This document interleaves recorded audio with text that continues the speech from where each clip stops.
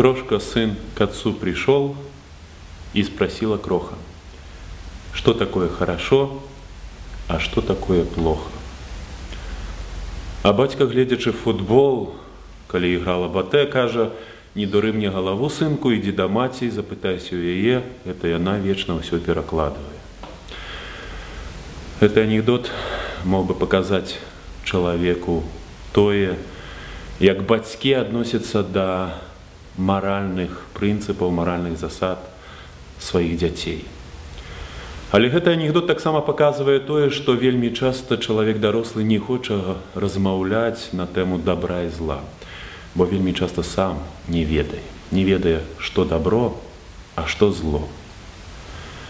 Дык вось калі са злом больш-менш справа зразумелая, бо зло можна прымаць як адсутнасць добра, то з добром заўсёды можа быць клопат. Бо чалавек вельмі часта папросту не ведае, што такое добро. Калі дзіцё малое, то паглядаючы на гэты свет, яно прымае добро як некую прыемнасць. Калі даюць дзіцяці цукерак, яна яно гэтае дзіцё адчувае прыемнасць і прымае гэтый цукерак як нейкі, некае добро. І нават тады, калі яму дадуць 2-3 кілаграма гэтых цукеркаў, то нават тады, калі гэты цукерак зашкодзіць яму, яно і так прымае за добро. Калі чалавек дарастае, ягоны падыход да справу добра змяняецца.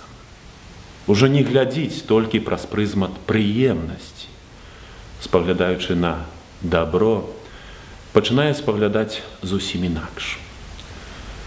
У апавесці Генрыха Сенкевіча ў пустыні пушчы, Калі у малога негрыцёнка запыталіся, што для яго з'яўляецца злом, ён адказаў, што зло для яго гэта тады, калі у яго украдуць карову.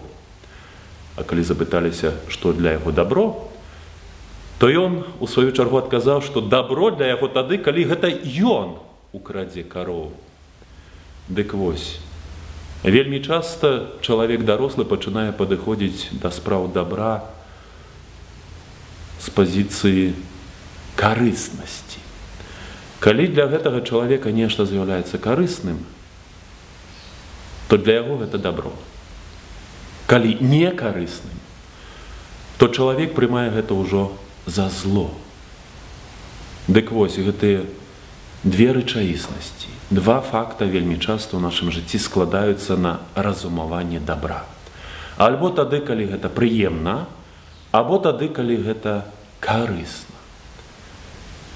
хрысціянін не можа падыходзіць у сваім жыцці толькі на таком узроўні. Паняцце добра павінна зрабіць яшчэ адзін крок наперад. Крок у бок самого Бога. Бо гэта Бог з'яўляецца вызначнікам добра. Ён з'яўляецца крыніцай усялякага добра. Малады юнак, звяртаючыся да Езуса, сказаў: навучитель настаўнік добры што я павінен рабіць на што Езус адказаў чаму называеш мяне добрым толькі Бог ёсць добры Таму калі чалавек хоча сапраўды пазнаць што такое добро і якім добром ён павінен у сваім жыцці кіравацца то перш за ўсё ён павінен звярнуцца да Бога у яго шукаць добра у яго бо ён з'яўляецца крыніцай усялякага добра. А гэтае добро не асноўваецца на прыемнасці, а тым больш на карыснасці, на карыснасці цялеснай.